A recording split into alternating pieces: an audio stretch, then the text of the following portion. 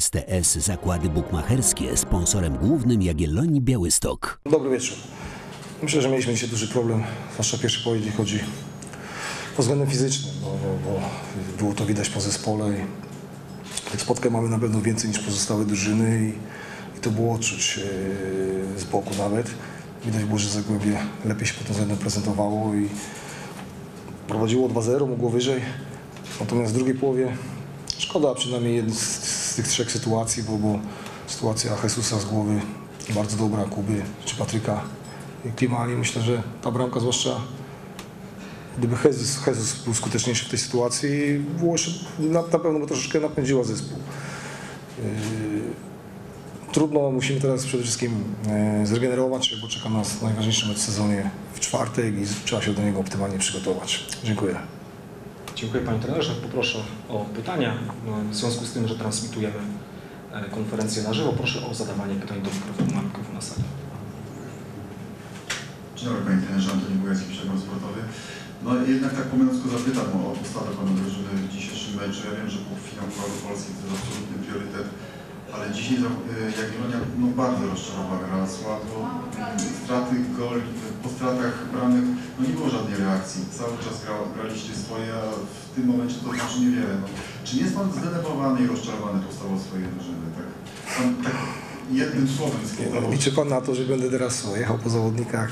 Pan, jestem wiele lat trenerem i ja wiem, że jak jest problem fizyczny, to, to tak z boku to wygląda i odbiór jest zawsze taki, że zawodnikom się nie chce, a wiemy, gdzie był problem i widzieliśmy, ja- ja- jak to wygląda.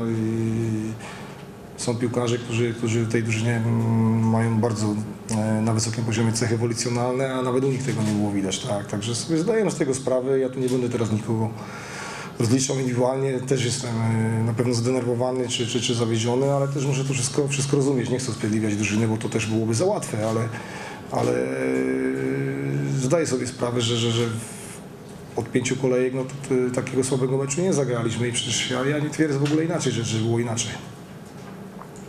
Czy są przeciwne?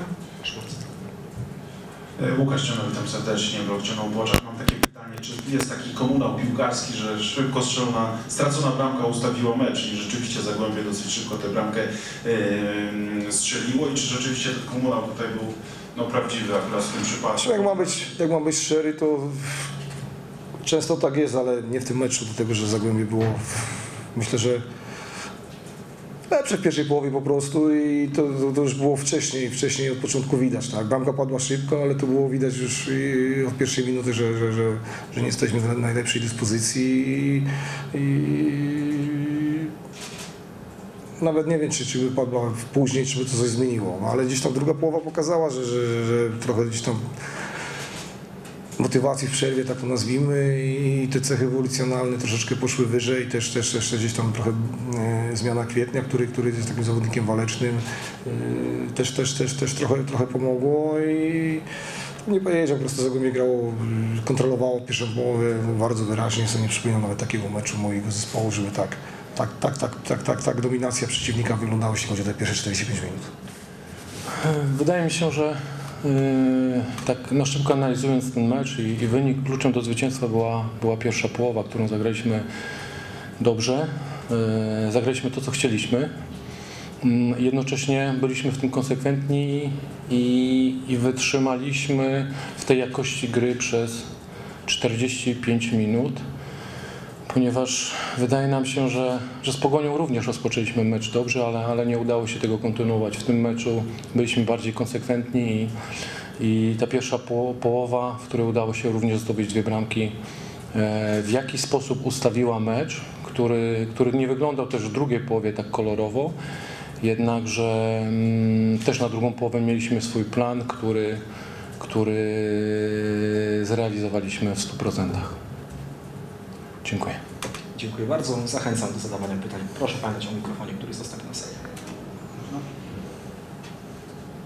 Antoni Bujacki, Przegląd Sportowy. Gratuluję Panu zwycięstwa. ale No, muszę o to zapytać, bo najlepszy trener Zagłębia Lubin w historii.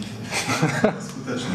Dwa mecze, dwa zwycięstwa. Trudne mecze, bo, bo Lechia Gdańsk też był taki wtedy bardzo, bardzo istotny. Yy, Nie ciągnie Pana na, do takiej pracy samodzielnej? Nie ma Pan takich pierwszych refleksji po tym meczu?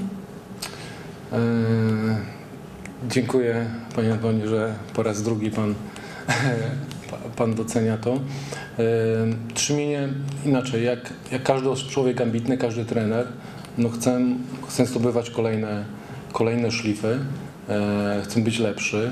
Być może kiedyś, kiedyś życie poprowadzi mnie w ten sposób, że będę zawodnikiem, będę pierwszym trenerem. No w dniu dzisiejszym podpatruję trenerów, pierwszych trenerów, z którymi mam okazję pracować. No i przede mną, e, jeśli miałoby się to ziścić, a zrobię wszystko, żeby się ziściło, kolejne wyzwanie, które, które ja muszę osiągnąć, muszę zrobić licencję UEFA Pro, która,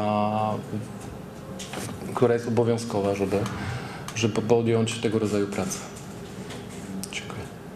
Czy są jeszcze jakieś pytania? Proszę bardzo. Panie trenerze, chciałem jeszcze zapytać jeszcze o przebieg meczu. Czy Pan był zaskoczony postawą Jagiellonii, taką niemragłą, zwłaszcza w pierwszej fazie i w zasadzie brakiem reakcji na, na, na straty bramek, bo i po pierwszej, i po drugiej bramce wygraliście konsekwentnie, ale Jagiellonia też, tylko to zupełnie co innego znaczyło. Być może byłem nieco zaskoczony brakiem tej reakcji, chociaż w takich planach przedmeczowych zakładaliśmy, bo, bo jesteśmy świadomi, że Jagie- Jagiellonia przed, przed sobą ma też bardzo ważny mecz. E, zakładaliśmy taki plan, w którym Jagiellonia będzie grała nisko, będzie broniła nisko, będzie oczekiwała na kontrataki, które za wszelką cenę będzie chciała wykorzystać, będzie szukała stałych fragmentów gry, a jest to zespół wysoki, który, który mm, potrafi stworzyć za- zagrożenie po stałych fragmentach gry, dlatego też ten, tą niską obronę i wyczekiwanie na kontrataki planowaliśmy w swoim, w swoich przygotowaniach do meczu. Mm, No ale, ale też, tak jak, te, też tak jak Pan wspomniał, być może, choć nie chciałbym się za bardzo odnosić do, do gry zespołu przeciwnego, brakowało, nie, było- nie było w tym w ich grze takiej reakcji po stracie, jakiejś zmiany, choć e, był taki moment zauważalny, 20 minuta, e, przerwa w grze, Bartek Slisz schodzi z drobnym urazem, rozpoczyna się gra po przerwie i, i widać, że wyraźnie tak, wyżej podeszli, starali się pobronić trochę wyżej, no ale to, to nie był to długi, długi czas. STS Zakłady Bukmacherskie sponsorem głównym Jagiellonii Białystok.